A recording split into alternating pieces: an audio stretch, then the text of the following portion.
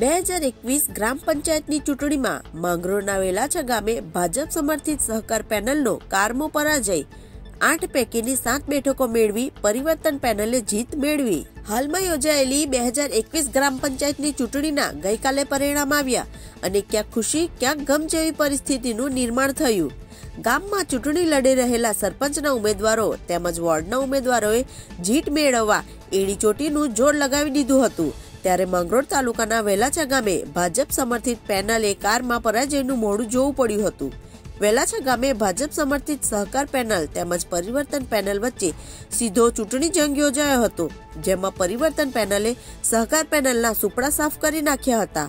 આઠ વોર્ડ પૈકી સાત વોર્ડમાં પરિવર્તન પેનલે જીત મેળવી હતી. જ્યારે માત્ર એક વોર્ડમાં સહકાર પેનલની જીત થઈ હતી. પરિવર્તન પેનલના સરપંચ પેનલના ઉમેદવાર કનુભાઈ સોમાભાઈ રાઠોડે સહકાર પેનલના ભરતભાઈ કાલદાસભાઈ રાઠોડને ત્રણસો સાહીઠ મતે હરાવ્યા હતા.